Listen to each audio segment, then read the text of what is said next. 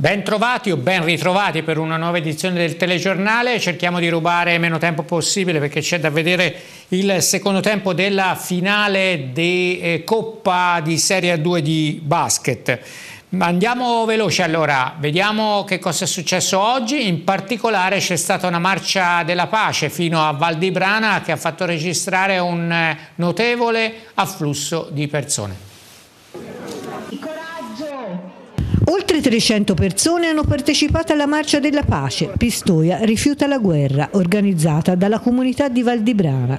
La partenza da Piazza della Sala. La marcia è passata per le vie del centro storico, Piazza del Carmine e la ciclabile, fino a giungere in via del Villone, dove ad attenderli per unirsi alla marcia i bambini della materna di Valdibrana. Raggiunta Valdibrana, partecipanti hanno ricevuto dai Boy Scout ramoscello d'olivo, simbolo della pace. Direi che è andata oltre l'aspettativa aspettative, noi ci si aspettava sì una certa partecipazione ma non così numerosa, quindi dal punto di vista degli organizzatori siamo molto soddisfatti della, della, della cosa, di, come, di, quante persone hanno partecipato. Sì, è stata una bellissima iniziativa, e, insomma, fieri, contenti di aver partecipato e viva la pace, speriamo insomma, finisca tutto al più presto. Che cosa pensi della guerra? E che è una cosa inutile. Cosa direste alla Russia? Smettila! Non voglio che succeda, ecco.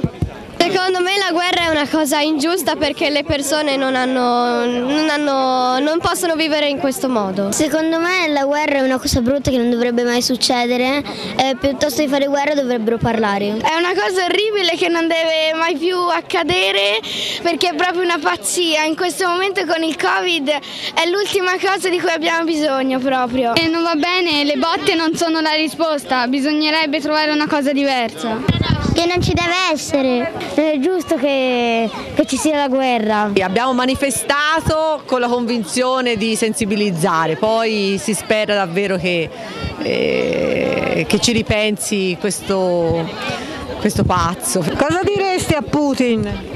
E quel che fa ecco, non, è, non è la cosa giusta. E non è giusto quello che sta facendo e che la guerra non è mai la soluzione giusta. Secondo giro di aiuti umanitari per la protezione civile di Chiesina Ozzanese per tutti gli enti e le persone della Val di Nevro che stanno dando una mano importante all'Ucraina colpita dalla guerra. In questo secondo viaggio il materiale recapitato dal gruppo guidato dal presidente Ivano Lucchesi ha riguardato principalmente il settore dei medicinali, garze antinfiammatori, antidolorifici, altre ancora destinate agli ospedali ucraini che ne hanno estremamente bisogno. Le immagini gentilmente concesse proprio da Ivano si riferiscono all'arrivo della carovana umanitaria al passaggio fino alla zona franca fra Polonia e Ucraina e lo scarico dei furgoni in occasione della campagna nazionale Mi illumino di meno per sensibilizzare sul risparmio energetico e lo sviluppo sostenibile, nella chiesa di Piazza dello Spirito Santo a Pistoia si è svolta una singolare iniziativa.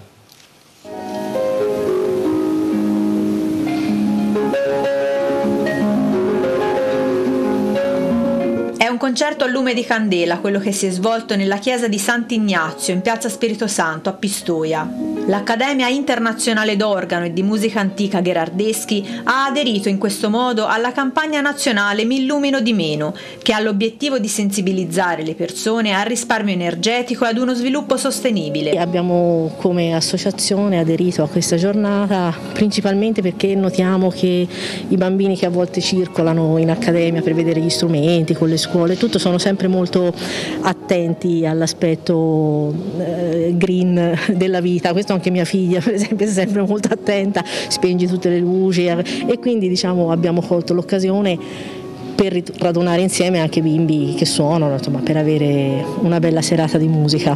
Quindi questa iniziativa strana se si vuole, ma significativa e, ha luogo in questa chiesa ed è tanto più significativa quanto i protagonisti sono bambini, ci saranno 32 bambini che suonano, quindi per noi è una cosa molto bella anche come speranza per eh, un'incentivazione del, eh, dello studio della musica, specialmente dell'organo, che si sentirà poco, soltanto una volta tra l'altro pompato a mano rigorosamente perché non si può usare l'elettricità, questa iniziativa quindi verrà pompata a mano e si spera che appunto ci sia una sensibilizzazione nei confronti della musica e della musica in chiesa in particolare. Un po' di numeri sono in calo, i numeri che riguardano la pandemia sono in calo nuovi positivi, mezzo migliaio o meno rispetto a ieri, i ricoveri in isolamento calano, meno 18, quelli in terapia intensiva meno 2, in totale sono in 39, questo per quanto riguarda la regione toscana. Aumenta però il, il tasso dei positivi ora quasi al 16%, in provincia di Pistoia 212 nuovi contagiati, non vengono segnalati decessi in provincia, mentre 8 sono in regione. 32 le persone in isolamento all'ospedale San Jacopo per Covid, uno in terapia intensiva, uno in eh, pediatria.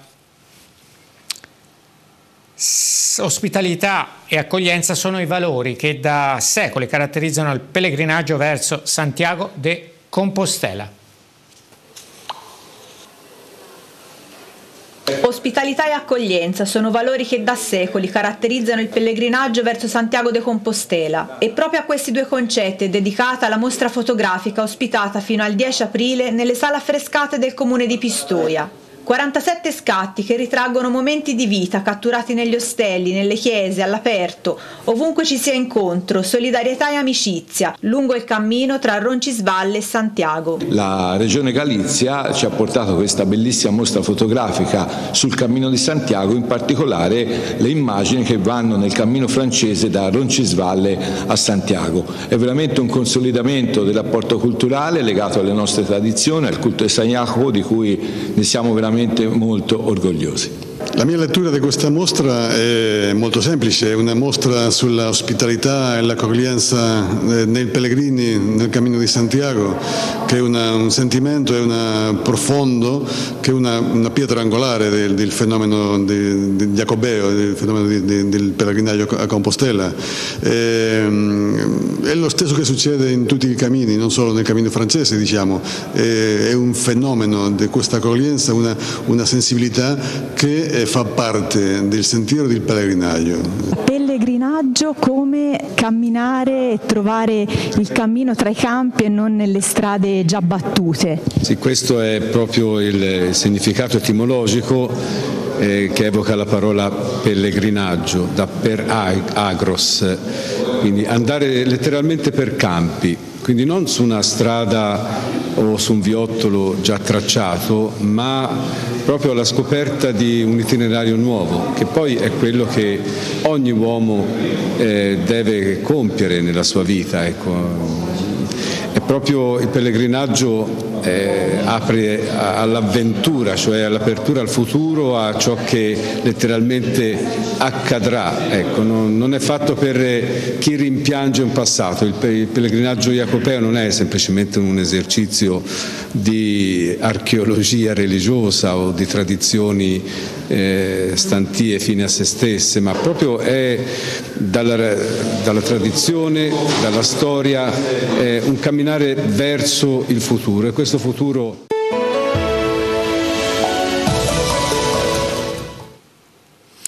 Un po' di sport, come sempre la domenica si è interrotta la striscia positiva della Pistoiese, non ce l'ha fatta la formazione arancione a recuperare qualche punticino con il Cesena nonostante una buona gara e nonostante avesse di fronte la terza forza del campionato. Eh, quello dispiace perché magari è vero sì che il Cesena è terza in classifica, però magari se probabilmente meritato sul campo questa vittoria saremmo meno dispiaciuti, diciamo che la squadra ha dato tutto quello che aveva, ha giocato con orgoglio, con intensità, con lucidità, abbiamo creato tante occasioni però non siamo riusciti a rimediare a questa partita che meritavamo certamente con un altro risultato, però questo al termine dei 95 minuti è così. E, anche se abbiamo tanta amarezza dobbiamo subito guardare avanti perché fra pochi giorni abbiamo un'altra gara. Ma eh, l'inizio è stato un attimino studiato, non è che abbiamo concesso perché in fondo hanno fatto solo un tiro da 30 metri, quello del gol, perciò nemmeno che ci abbiano creato chissà quale occasione, mentre noi già nel primo tempo abbiamo colpito due palle, abbiamo avuto diverse occasioni, così nella ripresa altrettanto abbiamo giocato, fatto la partita, però eh, ci deve dare morale e fiducia per, per il prosieguo del campionato perché quando una squadra impone alla terza in classifica il proprio gioco penso che i presupposti siano positivi, l'importante è dare continuità a questo tipo di mentalità di gioco, perciò anche se oggi è stata una sconfitta, io penso che i giocatori non gli si può rimproverare niente, in fondo è quello che gli chiedo prima delle partite, insomma di dare, di dare tutto quello che hanno e l'hanno fatto, meritavano qualcos'altro, però purtroppo non raccogliamo niente e speriamo di raccogliere magari in altre occasioni. E nelle ultime 24-48 ore è venuto fuori un virus eh, che ha messo a KO questi due giocatori come in precedenza ne aveva messi altri fortunatamente recuperati. Speriamo che, che si possano recuperare per, eh, per la prossima partita. Al momento non lo so qual è la condizione domani eh, cercheremo di valutare meglio la condizione di tutti perché molti giocatori oggi sono usciti con qualche problema e sarebbe importante recuperare magari questi giocatori che oggi non erano a disposizione.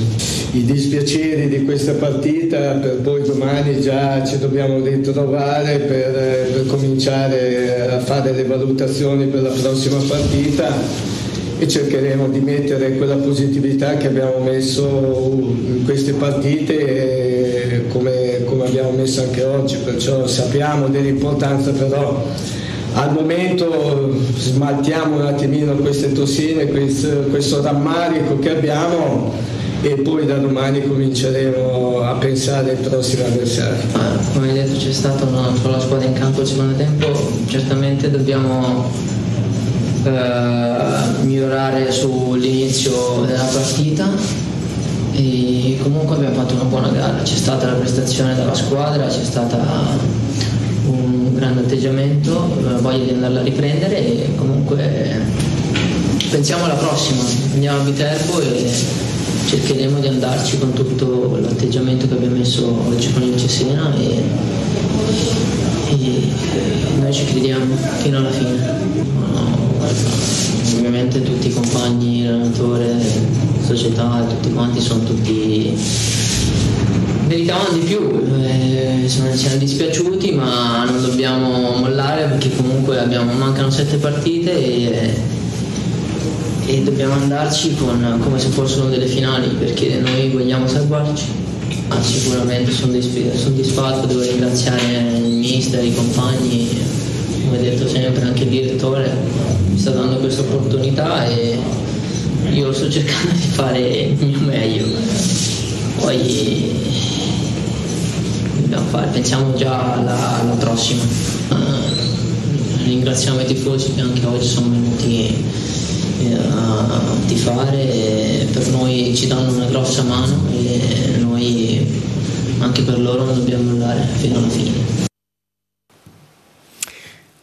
Secco 4-0 dello Spezia nei confronti della Pistoiese femminile, stiamo parlando del campionato di Serie C, era il recupero della diciassettesima giornata. In Serie D invece bicchiere mezzo pieno mezzo vuoto per l'Aglianese che oggi nella ventottesima giornata è andata a pareggiare 2-2 sul campo della seconda in classifica Ravenna. Mezzo pieno per il risultato di prestigio, mezzo vuoto perché a inizio di ripresa i neroverdi conducevano per 2-0 grazie alla doppietta di Nieri.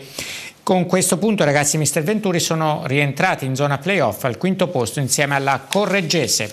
Pareggio beffa per la Val di Nievole Montecatini nella diciassettesima giornata del campionato di eccellenza. La formazione Ciro Muscedola a lungo in vantaggio grazie alla rete di Giglio. Si è fatta raggiungere dal Prato 2000 al 91 minuto e su calcio di rigore. Un po' di basket non ha giocato la Giorgio Tesi Group, ferma per le finali a cui era presente ma è andata fuori al primo turno venerdì le finali che poi vedremo nel secondo tempo di Udine Cantù fra poco. Ferma quindi la Giorgio Tesi Group al maschile, c'era la Giorgio Tesi Group al femminile che è la Nico Pontebugianese che è stata battuta in casa. Nuova brutta sconfitta per la Giorgio Tesi Gruppo Nico Pontebugianese che sabato sera in un altro match importante in chiave salvezza è stata battuta a domicilio dal basket Capri per 73 a 63. Sempre di rincorsa la formazione di coach Leonardo Rastelli, espulso per proteste da una coppia arbitrale in serata no, aveva dato qualche segnale di vita nel terzo periodo, soprattutto all'inizio, quando da meno 14 si era riportata a due possessi di distanza. Poi le orribili percentuali al tiro, meno del 29% in totale, alcune scelte offensive quantomeno discutibili e i troppi contropiedi concessi hanno spento la rimonta sul più bello. Ora le speranze di salvezza diretta per le rosanero, che sono al penultimo posto del campionato di Serie 2, sono ridotte al lumicino. Anzi, a questo punto Nerini e compagne devono guardarsi alle spalle perché Civitanova Marche, ovvero il fanellino di coda, è a sole due lunghezze e l'ultima retrocede senza la possibilità di disputare alcun tipo di spareggio. Coach un passettino avanti non basta ancora. Non basta non basta perché non possiamo in una sfida salvezza, perché ormai si parla di sfida salvezza e dobbiamo essere consapevoli, non possiamo permettere eh, un primo quarto così, un primo quarto dove lascio perdere le medie al tiro che sono state, sono state bassissime, i primi due quarti sono state qualcosa di veramente eh, non da questa categoria, voglio essere duro, e come sono stato duro con l'intervallo con le ragazze. Le ragazze hanno provato a reagire ma non è bastato.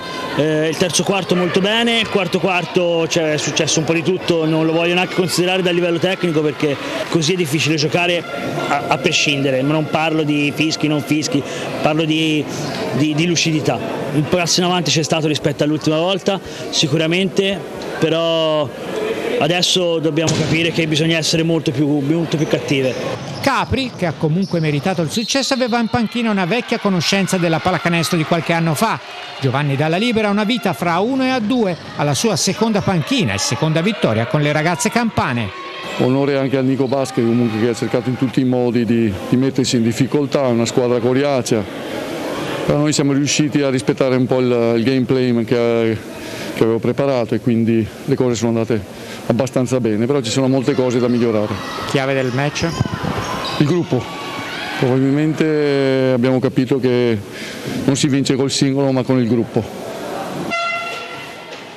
Velocemente gli altri risultati in Serie C Gold, Cuspisa Erons Montecatini, l'abbiamo vista poco fa nel tardo pomeriggio in diretta 85 a 56 per i termali Gemma Montecatini Sinergi Valdarno 83 a 77 per gli altri termali e mercoledì c'è il derby. Attenzione Agliana Castel Fiorentino è andata male per l'Endi Asfalti battuta in casa 87 a 56 male anche Quarrata battuta da Lucca 81 a 77 tutte e due le squadre però Agliana e Quarrata giocano in formazioni altamente rimaneggiate Futsal Pistoia in A2 di calcio a 5 ha pareggiato con Città di Mestre al Palacarrara ieri 3 a 3, tanto spettacolo, un punto per parte, è andata bene il ritorno al campionato, all'attività dopo la pausa invernale per l'Hockey Club Pistoia, la squadra di Filippo Treno ha battuto in casa Montagnana il Gran Torto di Padova per 4 a 0 ed è in testa alla classifica. Ci vediamo il secondo tempo